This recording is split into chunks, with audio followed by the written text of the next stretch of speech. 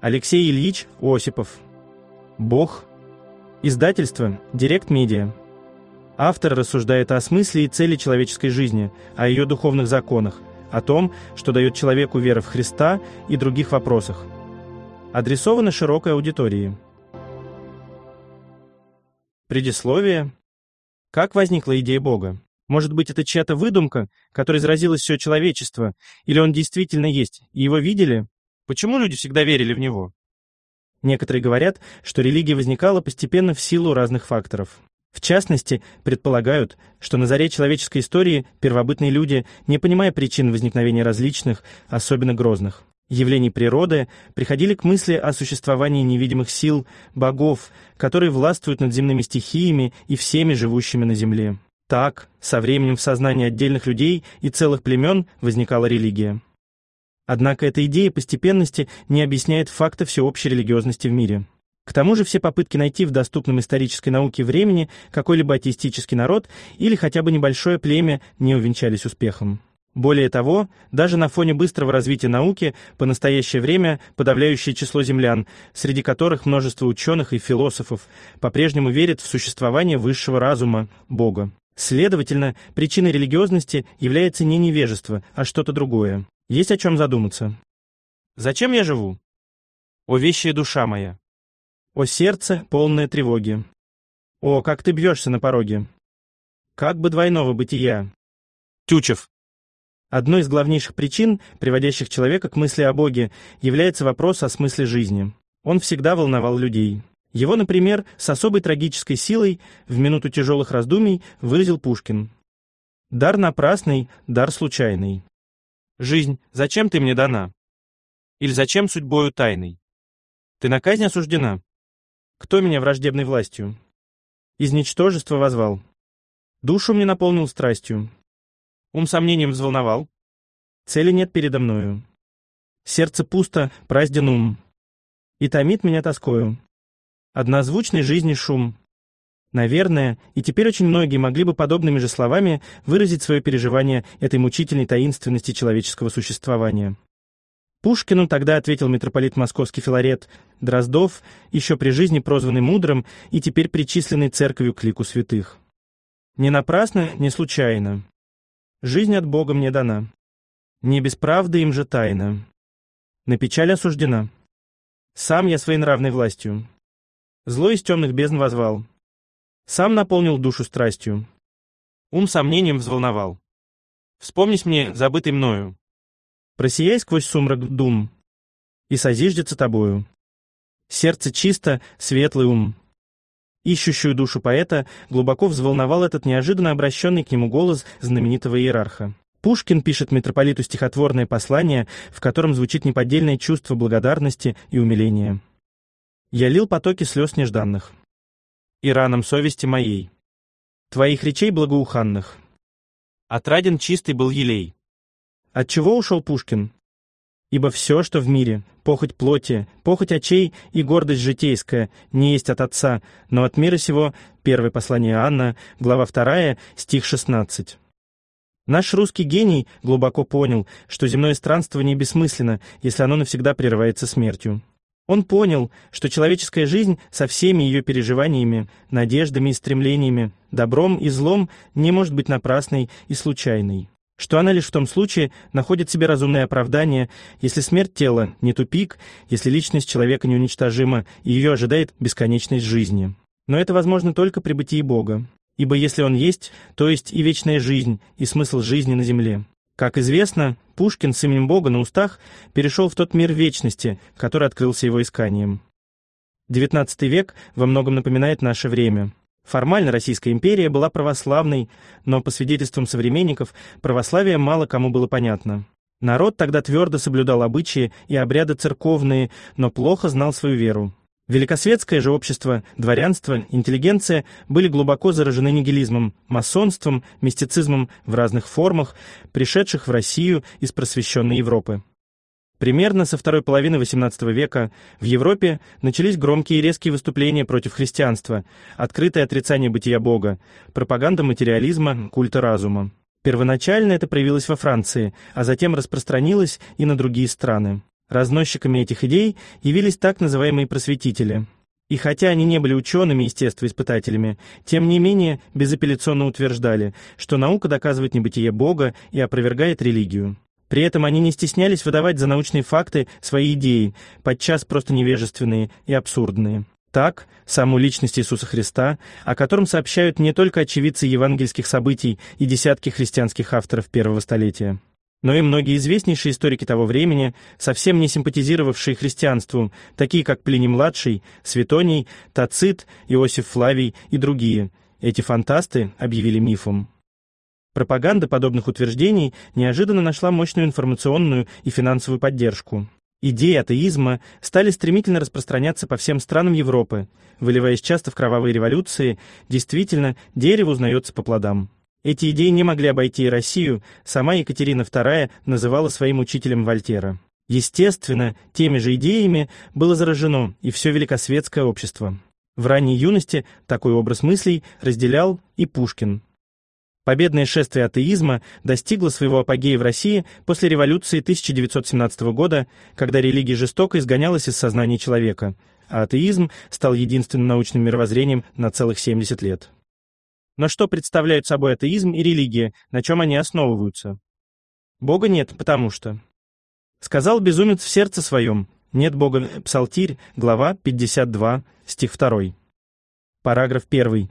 Бог, любовь и страдания несовместимы. Если Бог есть любовь, то не может быть страданий, тем более невинных. Таково одно из наиболее распространенных возражений, касающихся существования Бога. Это утверждение относится, конечно, не к бытию Бога, а к христианскому учению о Боге, поскольку лишь оно учит о том, что Бог есть любовь. Данное возражение проистекает, прежде всего, из смешения понятий нравственность и духовность. Нравственность – это характер внешнего поведения человека, его отношение к окружающему миру к общественным нормам поведения, к другим людям, к работе, законам и так далее, нравственность описывается в категориях справедливости, честности, милосердия, культуры жизни. Отступления от нее всегда очевидны и окружающим, и самому человеку. Духовность же – это внутренний мир человека, невидимый для других. Она подразумевает скрытые желания, цели, мечты, отношение человека к другим людям, его искренность или лицемерие, любовь или эгоистичность, зависть или доброжелательство, чистоту или грязь мыслей, чувств. В христианстве духовность человека означает чистоту его души от страстей и особую приобщенность Богу. Развлечение нравственности и духовности чрезвычайно важно для понимания причин страданий. Человек может быть нравственным и в то же время духовно глубоко порочным. О таких говорят «святой сатана». Поэтому, когда возникает вопрос, за что страдает тот или иной человек, почему с ним случаются те или иные бедствия, христианство отвечает, что все это происходит в силу духовного закона и обусловлено особенностями страстей и грехов данного человека. Ибо грехи и страсти – это раны, которые человек наносит себе. Христианство при этом предупреждает, что первоисточником всех страстей является гордость, порождающая, в свою очередь, три основные страсти, приносящие неисчислимые бедствия человечеству – это жажда наслаждений, богатства и славы. Об этом пишет апостол Иоанн Богослов. «Ибо все, что в мире – похоть плоти, похоть очей и гордость житейская» – первое послание Иоанна, глава 2, стих 16. Они, овладевая человеком, мучают его, расстраивают его телесное и душевное здоровье, его личную и общественную жизнь и могут довести до такого состояния, что он становится игрушкой темных сил. Не Бог устраивает семейные ссоры, общественные и межгосударственные конфликты, не Он посылает алкоголику цирроз печени, а эгоисту и гордецу семейные несчастья. Наш мир устроен закономерно и гармонично. И все его Богом установленные законы, физические и духовные, неизменны.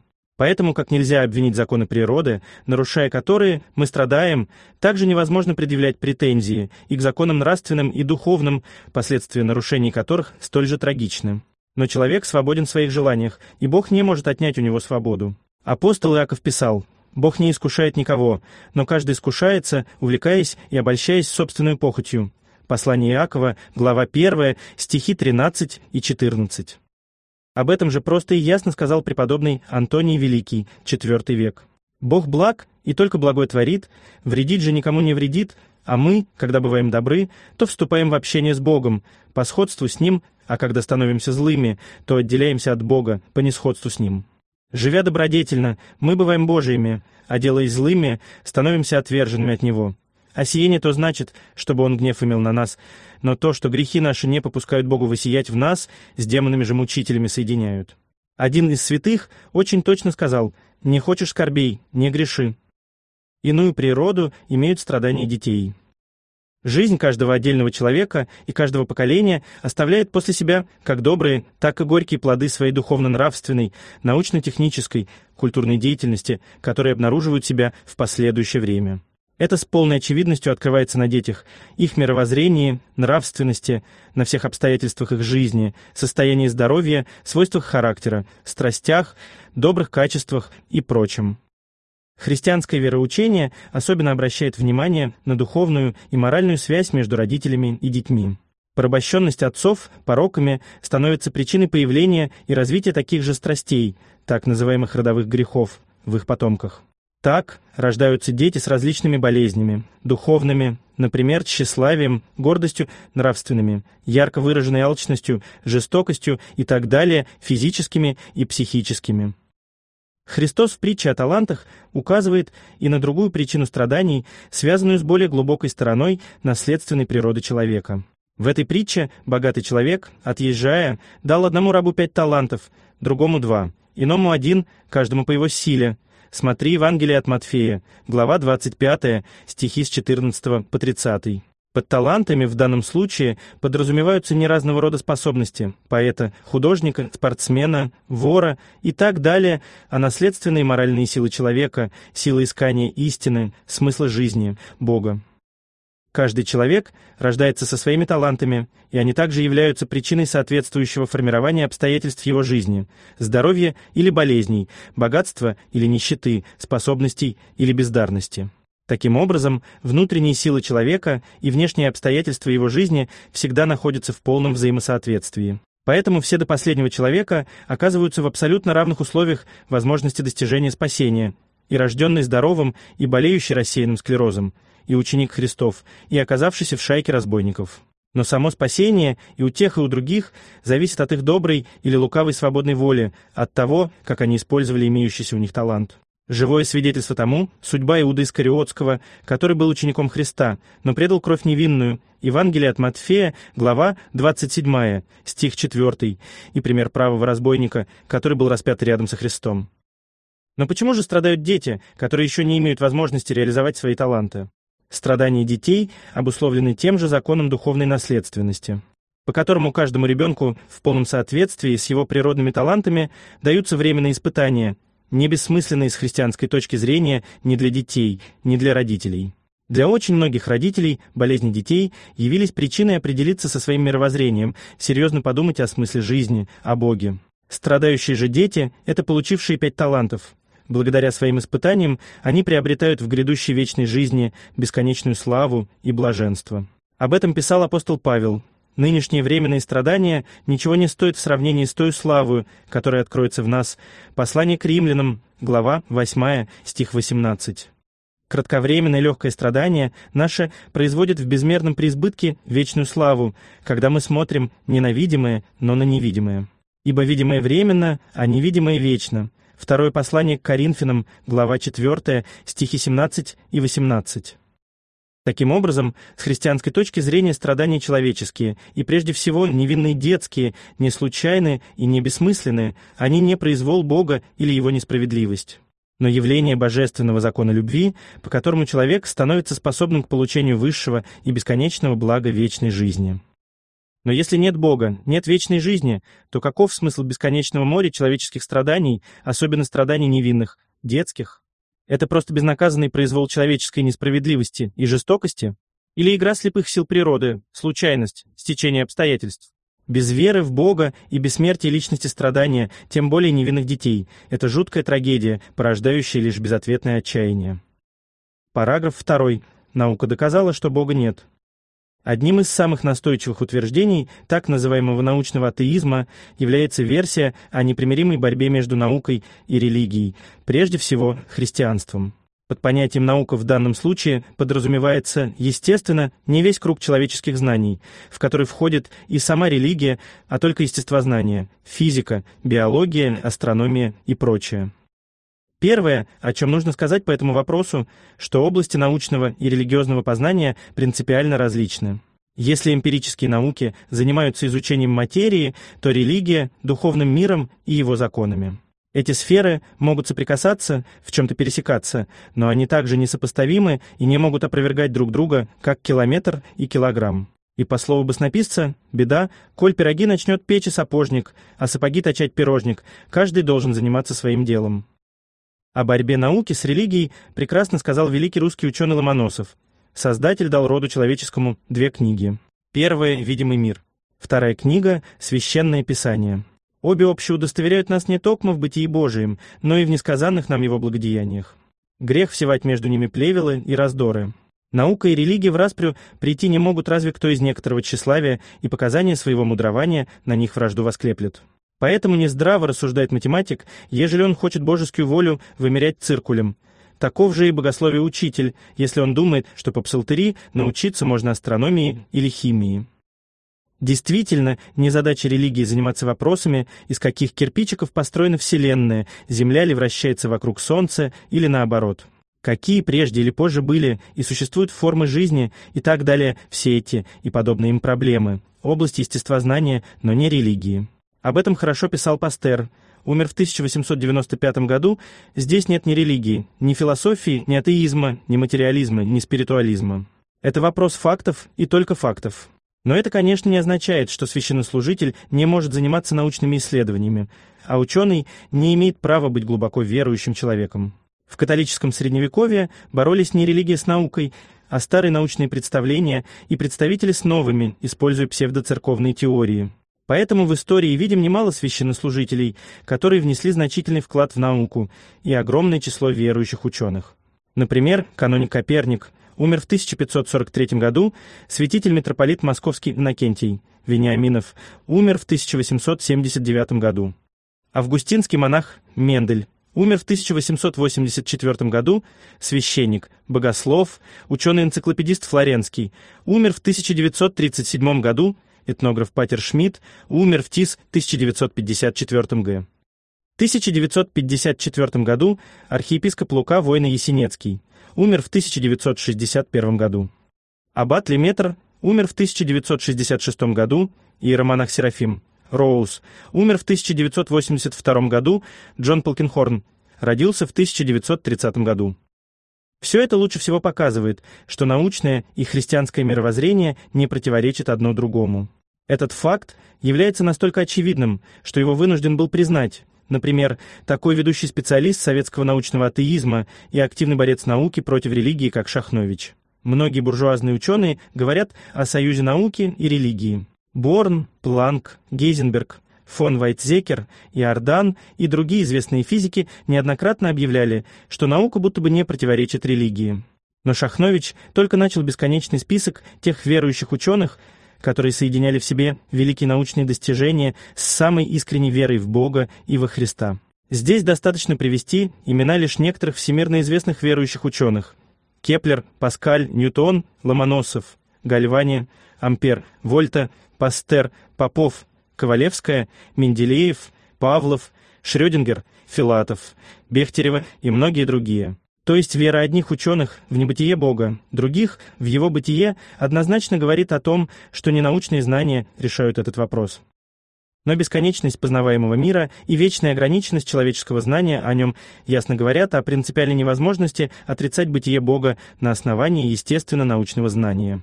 Поэтому атеизм, претендующий на название научный, именно с научной точки зрения оказывается прямо противоречащим науке. Все это красноречиво свидетельствует о надуманности самой идеи противостояния религии и науке. Параграф 3. Бога никто не видел. А кто Бога видел? Как докажешь, что он есть? спросил семинариста, один из задиристых посетителей Троицы Сергиевой Лавры, верующий в небытие Бога. «А вы свой ум видели?» — ответил вопросом на вопрос семинарист. «Нет». «Следовательно, у вас его нет». Под дружный хохот своих друзей сконфуженный атеист ретировался. Мы верим в существование очень многих вещей и явлений, которых никто из людей не только не видел, но и видеть не может. Верим своим пяти чувствам, говорящим о существовании мира звуков, красок, света, вкуса и прочего, хотя физика прямо заявляет, что все это лишь наши субъективные ощущения, а объективный мир совсем иной. Верим в любовь, добро, красоту, хотя видим не их, а лишь некоторые их проявления, которые скрыты в сердце человеческом. Верим в реальность субатомного мира, в существование каких-то кварков, струн, в непонятную бесконечность или конечность Вселенной. Верим в черные дыры, темную энергию, темную материю и так далее. Да и вообще, все то, что мы называем знанием, является ли таковым? За ничтожным исключением, все наши знания по сути лишь обычная вера, родителям, товарищам, педагогам, ученым. Мы верим политикам, фильмам, интернету, СМИ, которые, увы, часто не только ошибаются, но и сознательно обманывают. Так почему же не поверить кристально чистым людям, святым, которые утверждали, что видели Бога всем своим существом, и многие за это отдавали свою жизнь? Главная причина неверия у большинства людей, конечно, не в неубедительности или недостатке религиозных аргументов. Их, как правило, и не знают не в наличии убедительных аргументов против существования Бога. Их просто нет, но в нежелании Бога. Без Бога широка дорога. Вот основной аргумент. Как ребенок закрывает глаза от страха, так и тот, кто понимает или подсознательно боится, что там откроются все тайники личной жизни, убеждает себя и всех, что Бога нет и быть не может. Таковы наиболее часто встречающиеся возражения в отношении бытия Бога. Своей неубедительностью они показывают, что решение этого вопроса возможно только на пути искреннего искания смысла жизни и личной проверки тех условий познания Бога, которые предлагает христианство. Религия и атеизм вместе в парадоксальном единстве призывают каждого человека, ищущего ответа на проклятые вопросы, самому проверить православный путь познания Бога. Другого решения нет полное аудиоиздание, а также электронная и печатная версия книги по ссылкам в описании. Озвучено с помощью iBooks.ru.